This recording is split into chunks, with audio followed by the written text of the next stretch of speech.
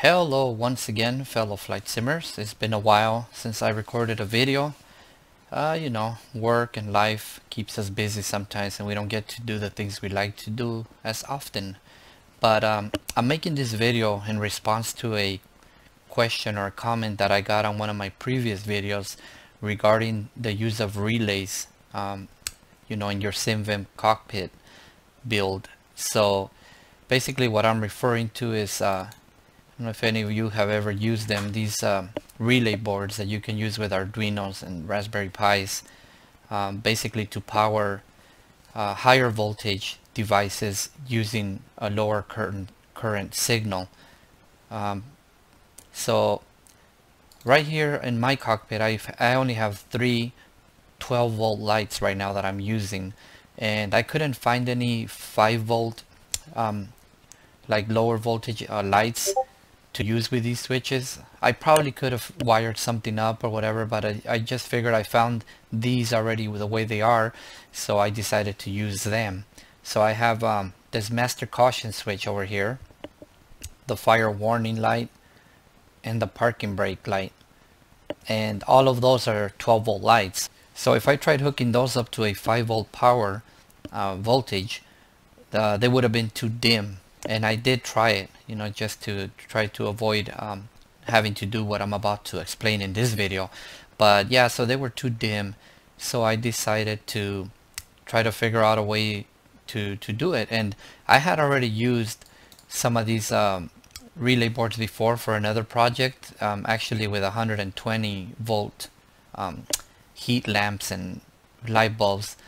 So they definitely would work with the 12 volt one because it's you know it's just much safer because it's much lower voltage. Um, but anyway so the switches that I got they they look like this the one the master caution switch over here and also the fire warning switch. So it's a push button switch which has a light a little light bulb a 12 volt light bulb behind it so that when you know that it gets activated obviously the fire warning or the master caution switch or the parking brake light will be on. And the good thing about these is that it's also a switch. So when you press the the button in you can reset that alarm that went off. Um, and these right here oh before I go any further I don't know if you can see the mess behind my my panels here. You can see the relay board back here. Um, mine has four relays but I'm only using three of them right now. Like I said one for each of those lights now that switch that I'm using, it's this is how it looks in the back.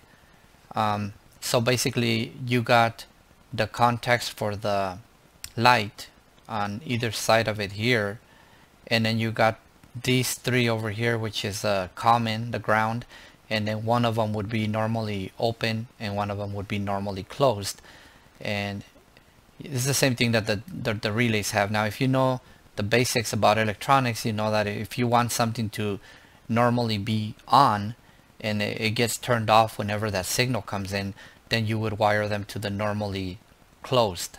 If you want them to only turn on when that signal comes in, then you want them to normally open so that it can close when that signal comes in.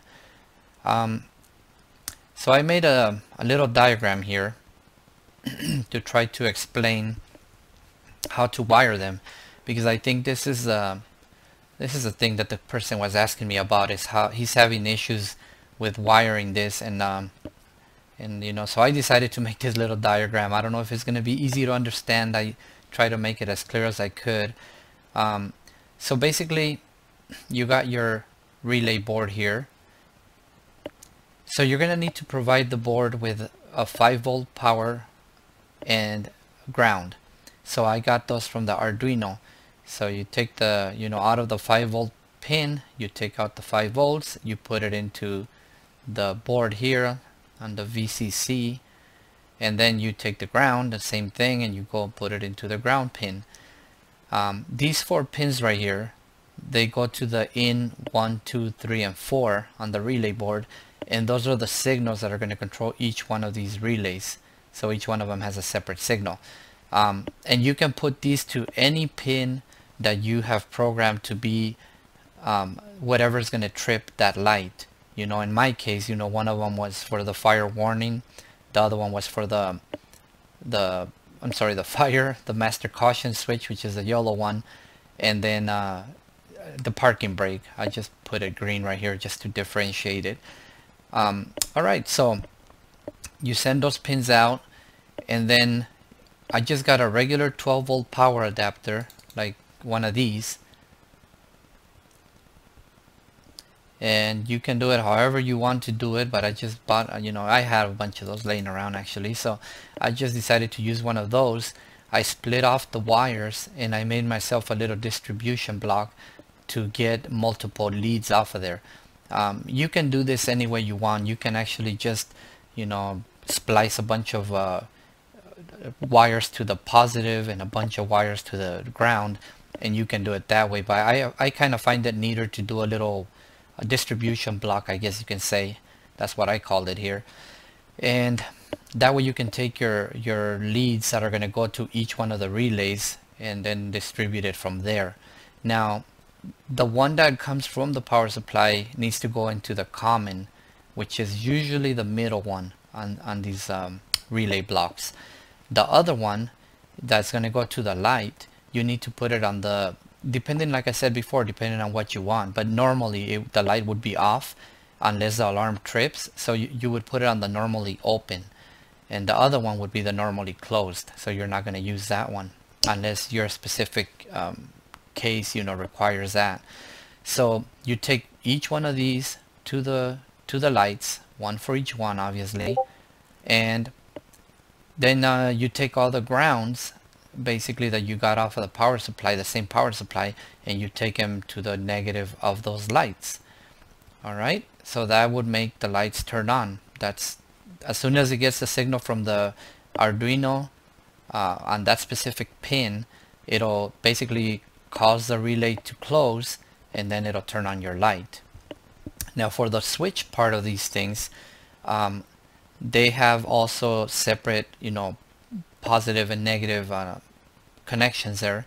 And these are going to go basically you're going to is going to be an input on the Arduino for SimVim cockpit. So when you press the button it's going to send a signal to the Arduino to that pin you know that you designated um, to reset the alarm the master caution or the fire warning light or the when you you know turn off the parking brake it'll turn off the parking brake light.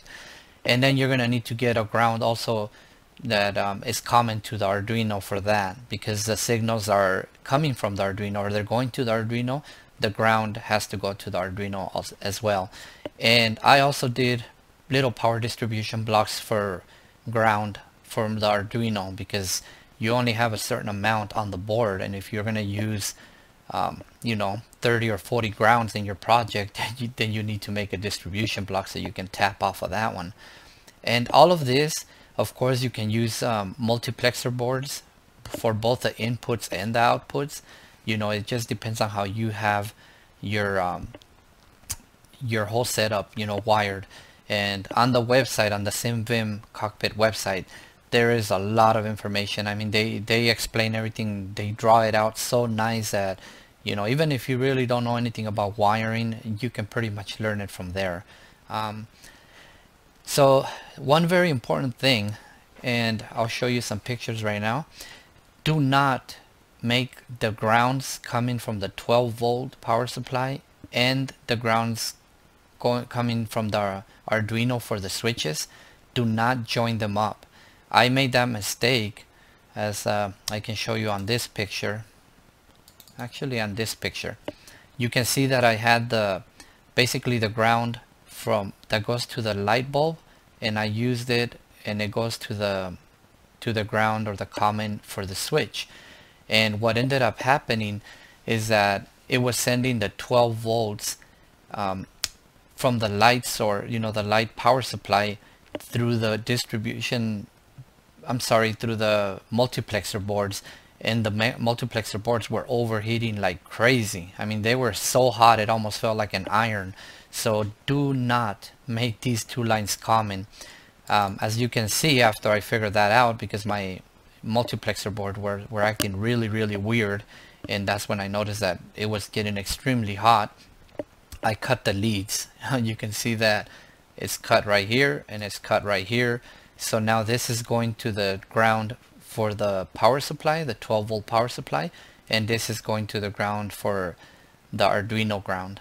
Um, so just make sure that you don't do that because you can have those issues. Um, I'm glad it didn't get burned up or anything because I caught it pretty quick but uh, that's something I didn't know before. So and I am you know I, am I was barely learning electronics. I'm, I'm not very experienced. Um, I was taking some classes that I had to stop taking because I moved out of that um, area where I was taking those courses and I never continued going again. But either way um, the little uh, distribution blocks that I'm talking about is I did kind of something like this. So basically the white one up here on top I have a bunch of um, you know 5 volts um, lines that are tapping off of that and then I have on the bottom half of it here I have um, basically some grounds so that I can just you know get a bunch of grounds and a bunch of 5 volt rails off of there. And the bottom one here this is my my distribution block for the for the bus you know so the the eight wires that are coming from the Arduino to go to all the multiplexer boards um, this is where I'm bringing them in from the Arduino and I'm tap tapping off of here to go to the to the little MUX boards that I'm using for basically having a whole bunch of connections as I ran out of connections on the Arduino. So when I started, you know, it looked pretty neat. You know, it was it was just like that. And I think you probably saw it in other videos already that, you know, after I got going, it became very convoluted, very complex, and I even had to add a second um, distribution board for the bus because I already had, I think, about eight, eight or nine multiplexer boards. I think I have a total of like 260 switches and lights and buttons and all kinds of stuff. So so yeah so it got pretty messy. I'm still trying to find a way how to do it a little bit better but basically that's um that's what I did. Um, I'm not sure if uh, it made sense. Uh, I'm gonna just recap it real quick one more time. So basically you take 5 volts and ground to the relay board you take the output pins which are going to turn on your lights to the inputs here and that's going to turn on each one of these relays. You get the 12 volt or whatever voltage power supply you need. You bring it into the common on each one of the relays and then you take it from the normally open to the lights or motors or whatever you're going to use that requires that voltage. And then on the other side for the switch you're going to take the signal pins going to the Arduino or to the multiplexer boards and wire them in their respective pins and you're going to take grounds that are common to the Arduino and hook it up that way. And that's pretty much all you need to do in order to get the you know relays working. Uh, so far they work like a charm for me. So hopefully you guys especially the person who had that question can get it to work for them. Alright guys. Well hopefully I'll make another video. I've been wanting to make another video about uh, using uh, condition switches to use the same buttons and the same switches for multiple functions depending on a, on a condition of a certain pin. So hopefully I'll be able to make that one soon. Alright alright we'll see you guys next time